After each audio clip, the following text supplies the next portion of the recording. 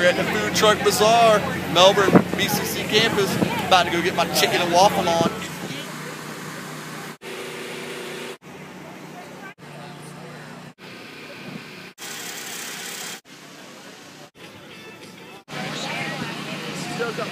down there. Yeah. So you you've come to many of them then. This ain't your first rodeo. Oh no, definitely not. Yeah. But it's, uh, What's your favorite place there to eat? Uh, right now it's the flatbread. Very good. Come on down. Take about an hour.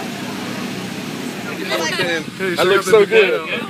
Have you guys ever been to the truck Yeah, we bazaar? came, we came last time. Because we went, we hit the one in Titusville, the one in Rockwood stuff, but um, they don't have the lobster truck here. I know. I heard about this lobster roll. That's what I want. That's what, yeah. It's good. It's very good. Do you want to try the look?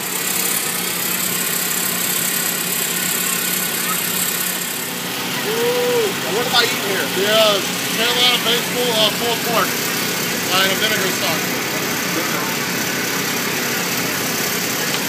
Woo! That's pretty amazing.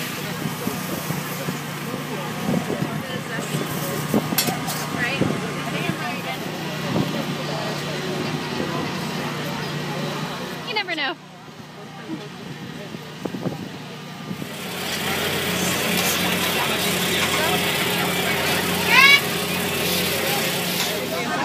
Came, we saw, I think we tried everything. My favorite was personally the chicken and waffles. You know where to go to find all these photos and video?